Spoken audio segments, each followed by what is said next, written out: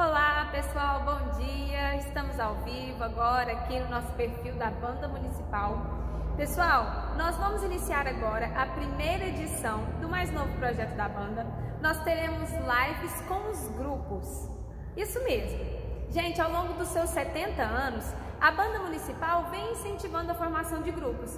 E esses grupos são formados com diferentes ideias, por diferentes razões. Muitas vezes eles são formados por naipes, por sonoridades afins, por afinidades sonoras, enfim, são vários os motivos. E agora nós teremos, na nossa primeira edição, o grupo de metais. O grupo de metais, gente, é um grupo que já tem bastante tempo, tem 10 anos aí de jornada e nós temos na nossa formação músicos que entraram recentemente na banda e músicos que já estão na banda ó, há muitos anos. Logo mais a gente vai conversar com eles e vocês vão saber um pouquinho mais. Vou apresentar para vocês a composição desse grupo profissa sensacional. Nós temos no trompete o Júlio César, o Natanael Marcelino e o Wellington Alves. Na trompa, o Samuel Borges. No sax, Leandro Aparecido. Na tuba, o JJ. No bombardino, também conhecido como eufônio, nós temos o Dionel Rezende. No trombone, o Enes e o Dedê. E na bateria, o Paulinho. Gente, esse grupo preparou para vocês hoje um repertório incrível, muito variado. Só para vocês terem uma noção, nós temos músicas que vão de 1969 a 2017. Então, é a sonoridade que vai agradar todo mundo, eu tenho certeza, vai ter coisa nostálgica aí que vai mexer com o seu coração. Então eu vou apresentar o primeiro bloco, as três primeiras músicas. Nós teremos Chorando Se Foi, da Kaoma, essa música que é de 1989. Em seguida, Flor de Lis, do Djavan, de 1975, seguida de Despacito, de Luiz Fonsi, de 2017. Aproveitem e se divirtam!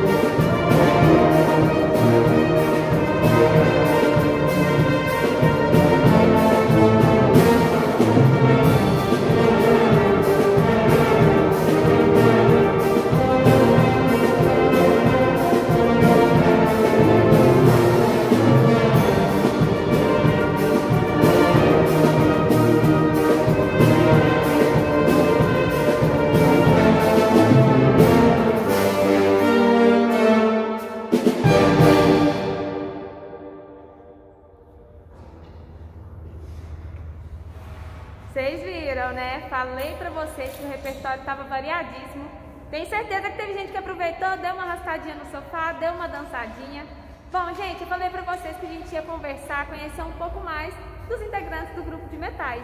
E agora nós vamos falar com o Dionel Rezende, que toca eufônio, né? Também conhecido como bombardino.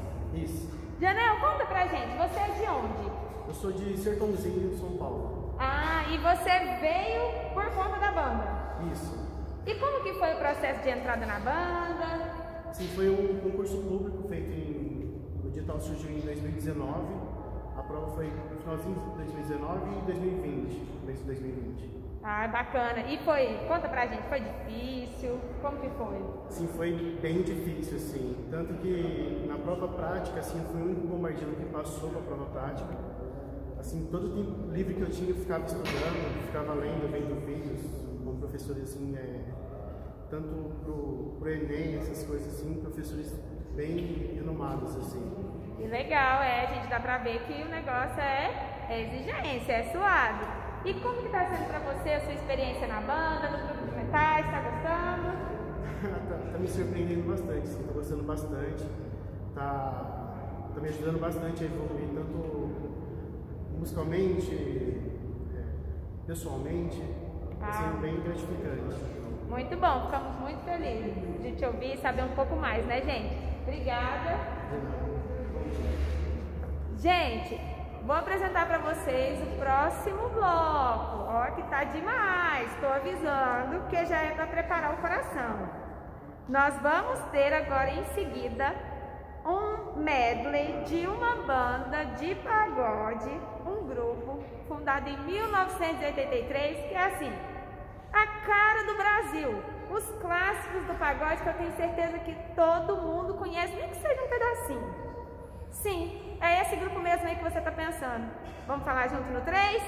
Um, dois, três. Raça Negra! Isso mesmo! Em seguida, teremos a música Cheerleader do Homem, que é uma música de um artista jamaicano. Ó, pra vocês verem a variedade, eu tô falando. Em seguida, a Sky Full of Stars, dessa banda inglesa, o Coldplay. Aproveitem, se divirtam. Enquanto eu estou conversando aqui com vocês, já envia, compartilha para as outras pessoas assistirem, tá bom? Curtam aí.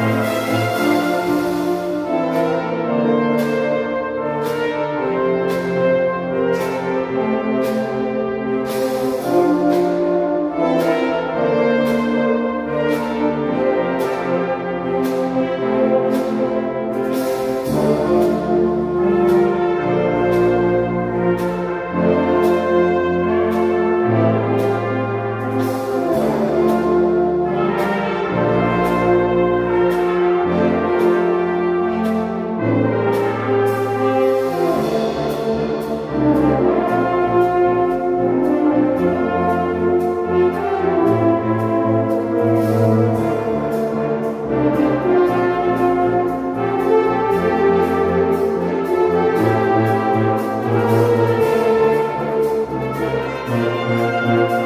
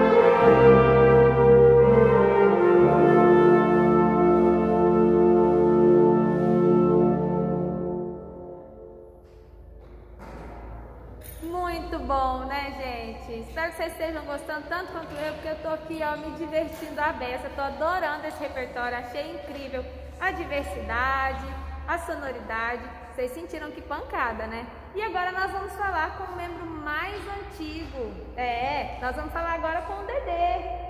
E aí, Dedê, conta pra gente. Bom dia.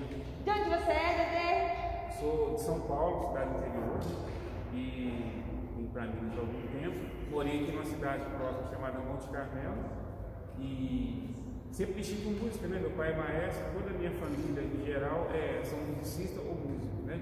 E a maioria hoje militares. Hum, bacana. E como que foi a sua entrada na banda municipal? Quando eu estava nessa cidade lá em Monte Carmelo, um amigo meu, muito amigo mesmo de coração, que é o Ricardo Cândido, que teve nessa, nessa corporação, ele falou assim, ó, tá abrindo um concurso na banda Sinfônica de Uberlândia. Eu vim fazer. Né? Me preparei, porque não é fácil não. É, já teve prova tanto prática como a, a, teórica, então assim, foi algo assim que a gente tem que se preparar. Né? A música exige muito da gente porque ela vai evoluir. É, não é pra qualquer um não, gente. Pra vocês verem, pra desenvolver esse trabalho, vocês estão vendo, vocês estão ouvindo a sonoridade, né? O tanto que é bom, isso ó, envolve muito trabalho, muito suor. É verdade. Obrigada, Dedê, é um prazer falar com você. Gente, vocês sentiram a pancada, o peso do som, né? Gente, os metais, de um modo geral, eles são fundamentais na organização de uma banda sinfônica, de uma orquestra, porque eles são responsáveis por trazer uma maior dramaticidade, uma carga sonora, aquela, aquele peso, sabe? E vou contar para vocês uma curiosidade.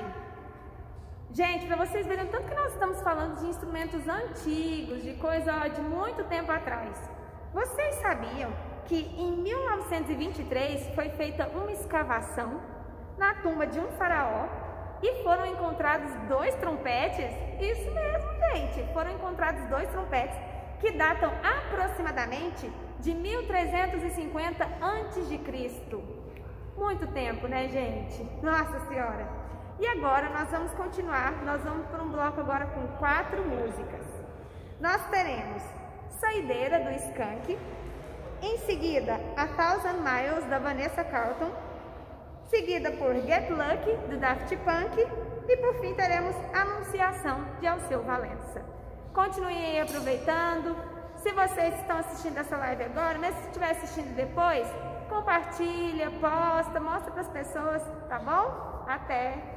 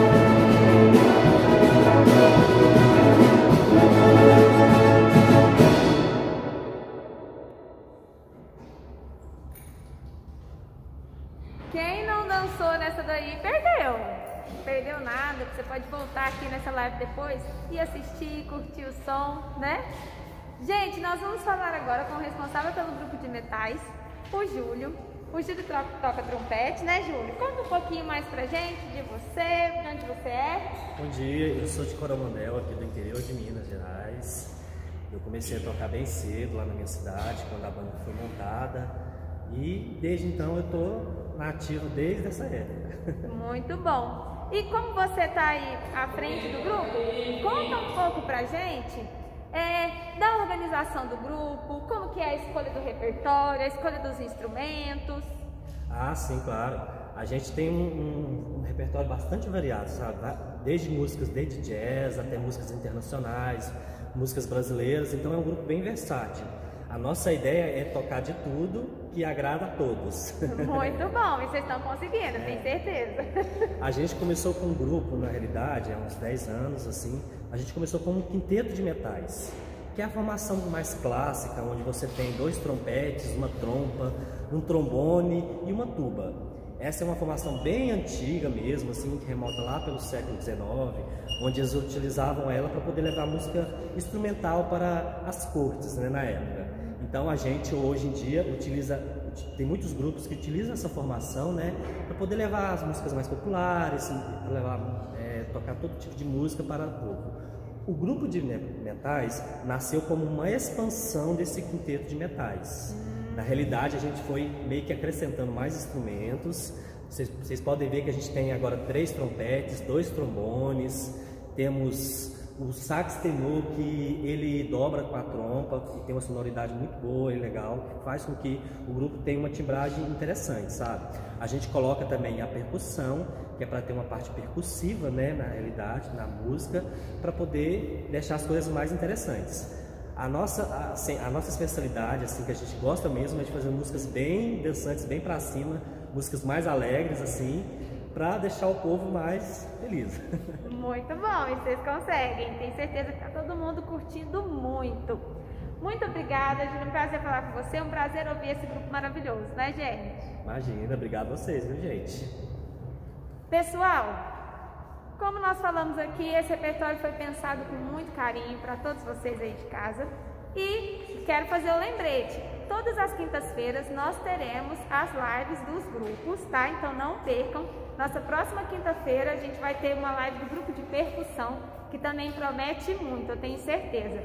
Vou finalizar agora, mas a gente vai curtir um sonzinho aí no final, mais jazz, né? Para manter bem, né? Manter isso que eu falei para vocês, desse repertório variado, desse repertório gostoso que esse grupo faz. Muito obrigada, espero que vocês tenham gostado. Continuem nos acompanhando aqui nas nossas redes sociais da Banda Municipal, aqui no nosso Instagram e fiquem por dentro que sempre tem novidade. Espero vocês!